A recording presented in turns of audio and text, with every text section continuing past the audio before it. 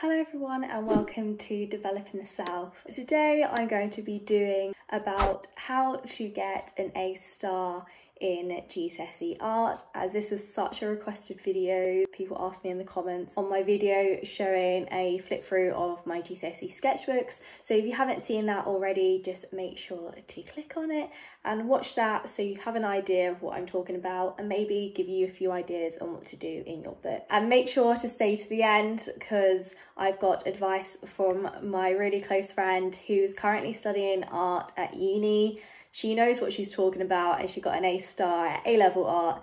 So she's got advice for you at the end. So I'm going to stop waffling and let's get on with the tips.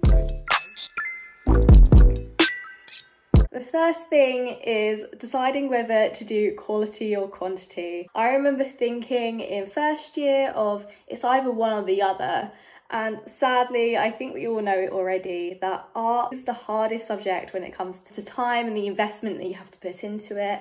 So you do have to have both quality and quantity. Make sure you do this. My school recommended that we had to do one A4 page a week and just to schedule out a specific time for you to do art.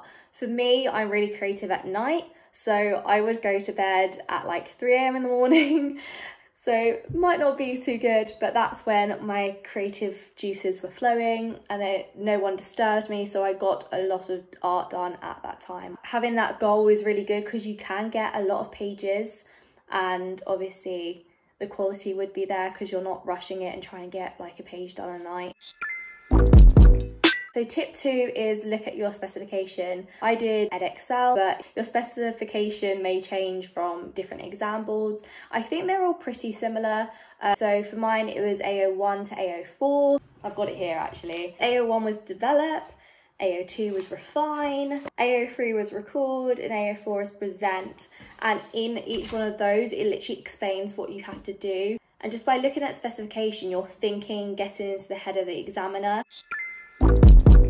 Number three is to use loads of media. GCSE art is all about experimenting with different ideas. So having loads of media is a really good idea. So I use biro, pencil, colouring pencils, even like gel pens, like glittery gel pens. Obviously loads of paint, so acrylics, even other things like mod rock, clay, that kind of stuff. Within using different media, if you can, I would say use collages because they come in really helpful when you're coming to your final piece and just putting everything together.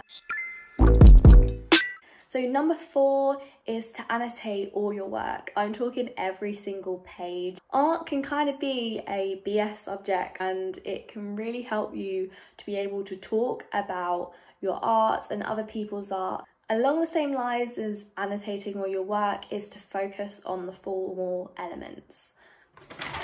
Got it here in my notes. So formal elements is under AO3 Refine and that includes line, tone, colour, form, pattern, and texture. You're talking about your artist research, about your own work, talk about what formal elements you use. So for example, in colour, you might have used complementary colours, and for lines, you might have done geometric shapes. And this is really helpful because in your artist research, you should stay away from whether they had a pet dog and where they were from and stuff. Well, like where they're from may have a little line but it should be about what kind of artists they are and what kind of art they produce why is it applicable to your work and how you can develop on that so what do you like about it and what do you want to use what kind of elements don't you think really resonate with your work and don't really play a part in what your vision is so number six has also got to do with artist research and this is to not copy so many of their artwork. Just don't copy too many pages, it doesn't look good and everyone knows you just copied it. It doesn't take, well it does still take skill, but it doesn't take as much skill to copy a piece of work as it comes with creativity and coming up with ideas. So what I did is I had a A4 sketchbook and I would have one page kind of describing about how I was going to apply it their work to mine and all about what the formal elements they use and on the second page I would do copy of their work and do a little smaller photo just to show what I was doing. And then straight after doing that two page artist research, I would another page that was very, very similar to one of their pieces, but would have been my version. Put examples here so hopefully you have an idea of what I'm talking about or you can also go back to the video. With your artist, make sure there's a lot of breadth.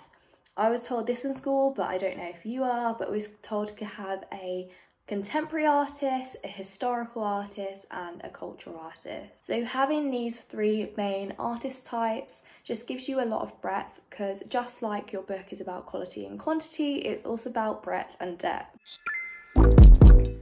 Number eight is to go on a gallery or museum visit and just like you would with an artist research, do that with your visit. I'm lucky that I live in London so it's easy to get to one of the main museums but even if you can't get to a smaller museum where you live, and especially considering the current climate with COVID-19, you can actually pretend you have gone and gone on the website such as Saatchi, the National Gallery and Tate Museum, and they've actually got loads of their artists on the website and just take photos from there and use artists that you like from there. It's kind of like going on a virtual field trip. So this is definitely a good way to add a little spice to your sketchbooks and kind of stand out from other people that are just doing artist research, especially at the moment. And tip number nine is all about your final piece. When it comes to your final piece, it can be daunting, but the best way to go around it, go about it, go around it. The best way to go about it is to look at your book, for example, and go through the elements that you really like, that you've perfected. So for example, I did about architecture and about buildings for my vessels sketchbook, and I really liked using biros and acrylic paint. So I decided they were going to be my two media that I was going to focus on in my final piece because it would save time and the limit and also just something that I enjoy to do. Make sure you link to your artist research, your gallery visit, everything that you can kind of amalgamate into your final piece, do so.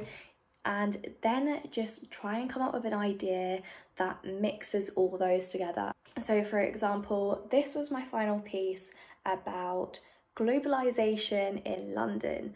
And because I live in London, I went to loads of galleries and had loads of first-hand photos from my visits and I kind of photoshopped that into this circle and created this and loads of little elements from my book were used in the final piece and I think the examiners really liked that.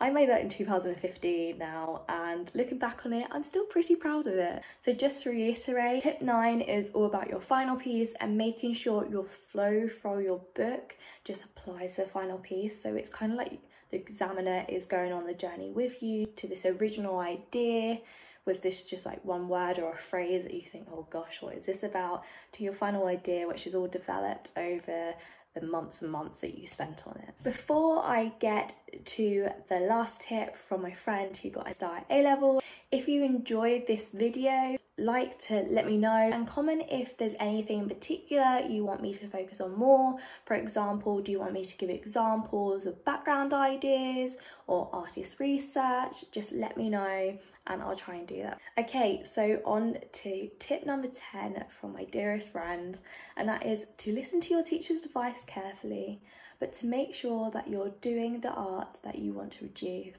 As soon as you start trying to make art to please others, it kills creativity. I mean, if that doesn't sound like an artist, I don't know what does. but I really agree with that. Just trying and enjoy GCSE art.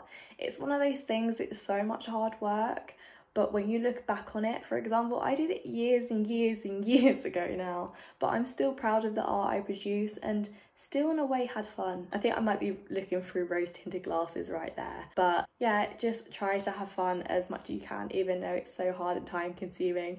I know I've been through it. I didn't even go on to A level art because it was so time consuming. But I hope you found this video helpful.